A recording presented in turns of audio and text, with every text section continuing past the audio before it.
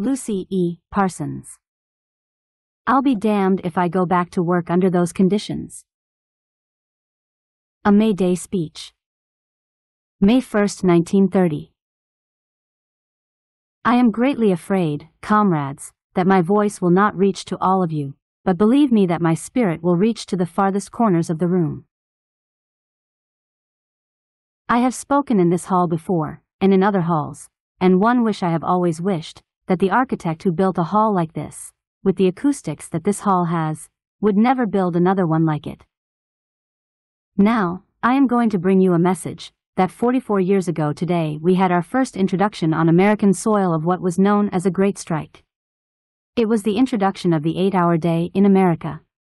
From 12 hours to 8 hours was a great step, and I have the honor to be one of those who was so instrumental in my small and humble way in preparing for that immense strike. I have been in the labor movement for many years. I have been in the labor movement since I was a mere girl like these kids I see today. When I saw these little girls with their bright eyes and forward-looking movements, and how bright and happy they were. I went back through all those years and pictured myself, and I said, after 44 years I see these children who are going to come and take the place of those like myself who will someday, and very soon, of course, pass away.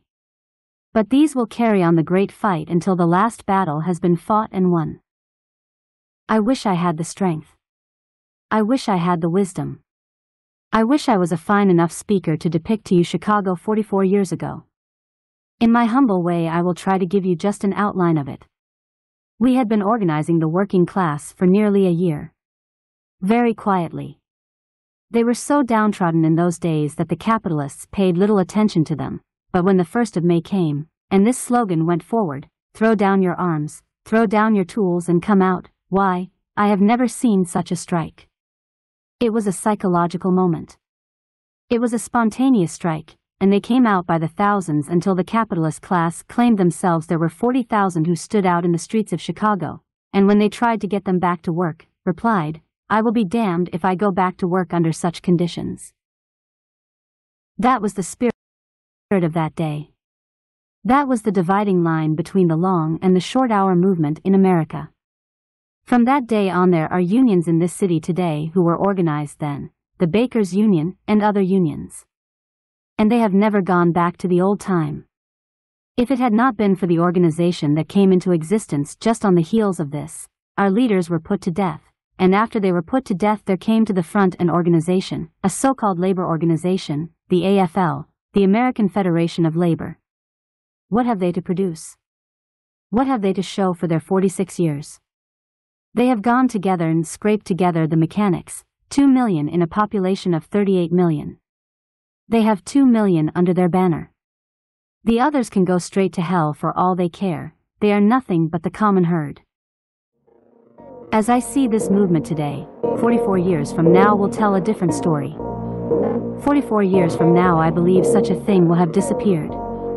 It will have disappeared from the face of the earth, because I see in this movement today, I have seen many movements come and go. I belong to all of those movements. I was a delegate that organized the industrial workers of the world.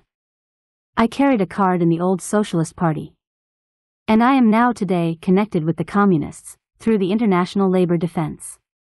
So I have seen these movements come and go. In human affairs, in life, it is just as the ebb and flow of nature. It is like the ebb and flow along the ocean's way, along the shore of the seaside. Those waves come and play their part and go, but they all leave their imprint, until the ocean itself is worn away with time. And so no one need be discouraged because these waves of human forces to the radical movement come and go. They all leave their imprint. The radical imprint, they all leave something behind, and the next great movement like this one that comes, simply steps into the footsteps of those who have gone, and carry it further until the emancipation comes. It is a lesson of history. We do not accomplish all in one day, or one generation. It goes on to the other generations, and I believe, without flattering this organization, that they have the right hope. I can't help but believe they will go on and on, and will not pass away like the other organizations, because I think they have the substantiality.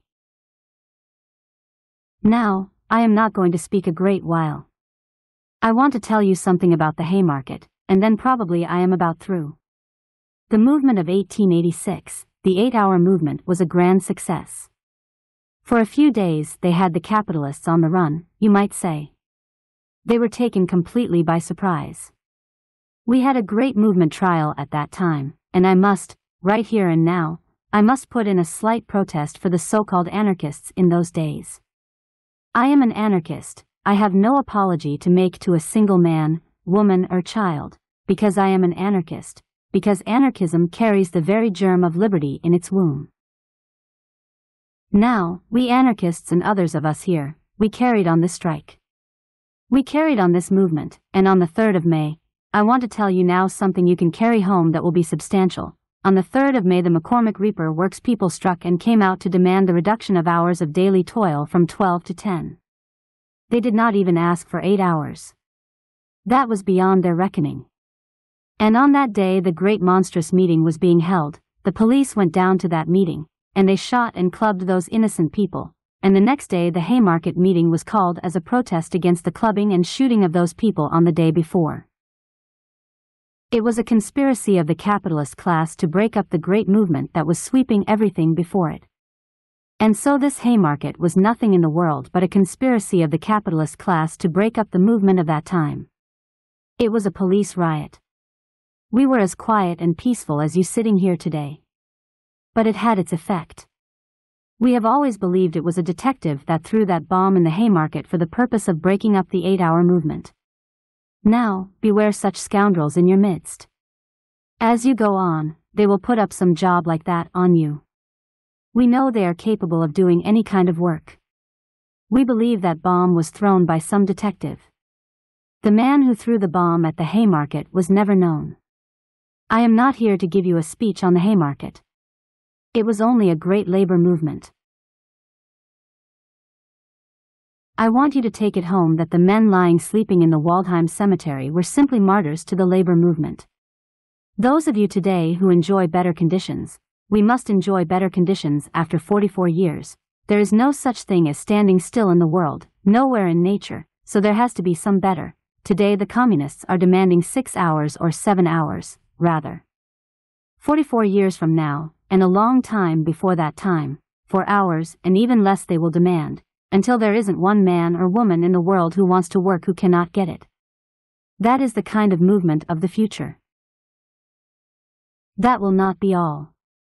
If that is the case, capitalism will have gone by the board. I do not expect to live that long, but I do believe when I see young people and earnest people who will drop their work in times like this, when work is so scarce, come out in the midweek and defy the capitalist classes, and come out in the sunlight, and show them as standing solid for shorter hours and better conditions, that that means earnest people and those are the kind of people we have got to have. The Communist Party has hundreds and hundreds in prison cells.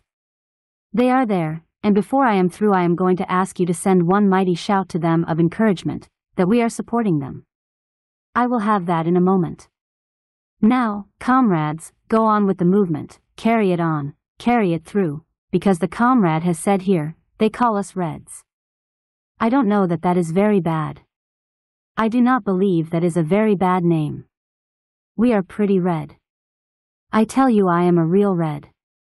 The scarlet flag, holding up scarlet cloth. The workers' flag is deepest red. It shrouded oft our martyred dead. And ere their limbs grew pale and cold, their lifeblood dyed its every fold. Then raise the scarlet standard high. Beneath its folds will live and die. Though cowards flinch, and traitors sneer, we'll keep the red flag flying here. We make the fight of ages. It is the flag, and that flag shall fly above the ramparts of capitalism throughout the world, and no woman will be compelled to sell the hallowed name of virtue for a piece of bread. No child will be compelled to go in our factories. No man walking the earth asking for bread that cannot get it. It will wave up above the ramparts of capitalism. Then hail the banner of the workers, the red flag throughout the world. Today we march, We send our greeting upon ocean's waves, we send them continent to continent, we send our friends across the ocean and all climes and countries, we are with you. Our hearts throb. The working class throughout the world proclaim the doom of capitalism and wage slavery. I have asked the permission of the chair just a moment. I have said something to you about the Haymarket. I haven't said much about it, and I have brought with me the speeches that were delivered by our comrades, my husband and his comrades, and I wish to say to you that that red flag, that they were shrouded in the red flag, and they lie in their last resting place enfolded in the red flag. But these are the speeches. When they were sentenced to death, they were asked if they had anything to say why sentence of death should not be passed upon them. They arose in the courtroom, and for three days they delivered these masterful speeches. There has nothing been added of a fundamental nature to the labor movement in those 44 years. You wonder how those men of that day could have such a grasp of the labor movement. For three days they said to the court, they said, Honorable Judge, my husband said. Honorable Judge, we are not delivering these speeches either to you or to your class.